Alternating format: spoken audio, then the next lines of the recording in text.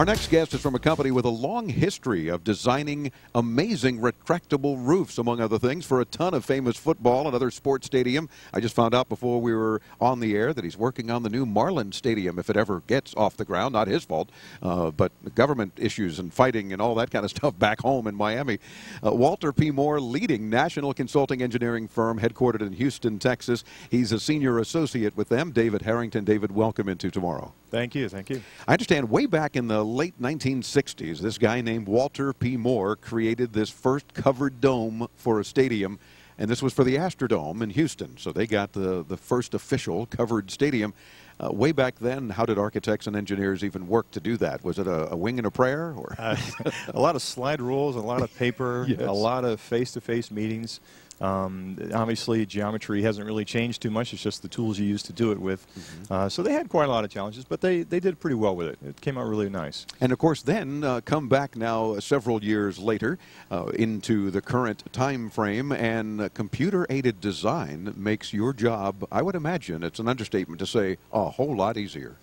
It makes it easier in the sense that you can accomplish just about anything you want. Um, now it's, I think with uh, the way CAD is nowadays, architects are no longer sort of limited by their own sort of personal skill set. They can use what the technology can drive and uh, be free. You know, do just about any sort of design or shape that they want. Um, look at Gehry's type of work, or the work that uh, the people do here in the stadiums, as well as the, uh, the casinos.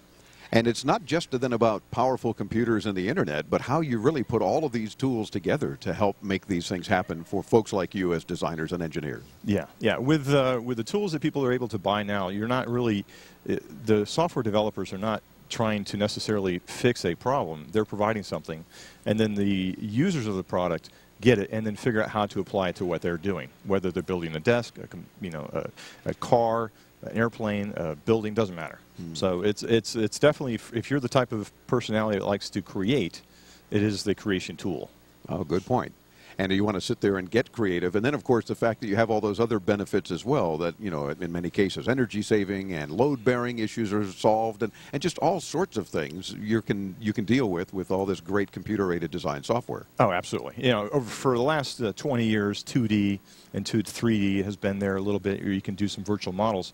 But now we're actually able to design our projects uh, in line uh, together with all the different disciplines, you know, the architects and mechanical, the civil guys, and create these things that uh, you can walk through them, find out how they're going to be constructed, uh, timeline-wise, uh, phasing, demolition work. Um, we even have a client who's doing a, we did a three-dimensional model of their building, and they're using that model to train their staff in evacuations as a hospital. Wow. You know, and it's like, well, you wouldn't think you normally would do that, but yeah. once you have that data, you've got this model.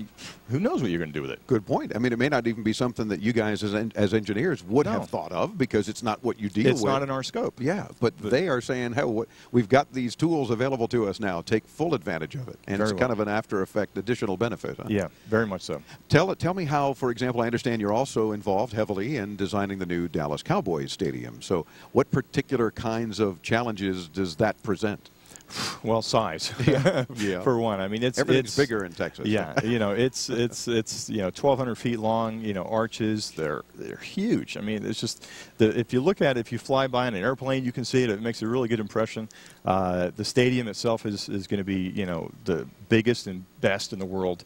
Uh, it has a, uh, a hung TV station or TV screen 180 feet long. Oh my You know, God. it's like, uh, do you really need that? Well, yeah. I mean, of that's course. what people want now. Because they want everything. can. They want air conditioning. They want suites. They want a great environment to see stuff in.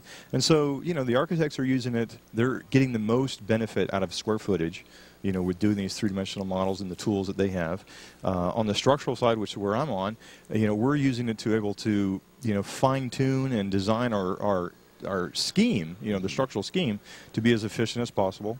Uh, you know, a lot of the tools that we have with Revit structure and uh, Tekla structures, as well as analysis tools, ETABS and SAP, we play all these together and can actually leverage the best part of everything to create the best product. You know, which is in the end is is the building itself. And of course, you, since you can't have columns for some reason in the middle of a football field, Yeah, uh, go figure. Yeah, they just Yeah. It, it, it interferes with passing. Uh, then you really have to use some great computer-aided design tools to say now we've got this huge TV set, for example, this great monitor that's hanging from the Yeah. top. Now that adds a whole lot more weight. It's not just a matter of a, okay, fine, it's a roof, so there's an inclement weather issue is no longer an issue, uh, and it's retractable. All right, so you've got to do all these kind of bizarre Well, things. You have you have construction issues during construction. Oh, sure. You know, as they're building this thing, the building itself is sagging, it's cambering, and and so you've got to build enough camber in so that eventually, when it's done, it is connectable. It is on geometry, and then on top of that, you have the roof panels on, on the Dallas Cowboys. They open and close. You know, so there's they're open and when it's when the weather's nice, they close if it's going to be a problem. It gets. I mean, there's a lot of variations, iterations, and, and scheme designs that you have to do in terms of understanding uh, what you're going to do. And, and uh, on top of that, you have uh, applications, the people who do the mechanization. Uh, they'll provide systems and software that they can give over to the owners of the building that they can use to open and close the facility. Uh, determine what the hurricane situation is going to be. You know, how do you lock down the roof so you're not going to have issues there? It's it's a lot. Of, it takes everybody. It's not just one firm doing anything. And you bring up an even better point about during construction, how you can go back to the drawing board, in this case, the computers, and say, all right, we've got to tweak something else Yeah. and, and make something else happen. Yeah, So- yeah. When we do when we do these sort of uh, projects, we did a project in Arizona, the Cardinals Stadium, very similar. There, the the trusses were built on the ground and lifted up, and so you know, as you lift this thing up, it can you know it's going to camber out several feet, Mm. and so they put all these sensors on it and they jack it up, and you study that. Okay, well we thought it would move you know three eighths of an inch and it moved five sixteenths. Okay. Well, we're good enough. You know, it's going to work. So it, it's, it, it. it, the technology and the precision of the systems that we have, the software that we have, uh, makes all of it possible. It doesn't get in the way of what we're trying to achieve. Well, to learn more about what David and his team are up to, visit walterpmoore.com. Again, we'll have links for you for his site and all of our guests here from Autodesk University at intotomorrow.com or graveline.com. Dave, thanks for spending a couple of minutes with us here at Autodesk University. Thank you very much. We're back with more as Into Tomorrow continues this week from Las Vegas. I'm Dave Graveline. Don't go away.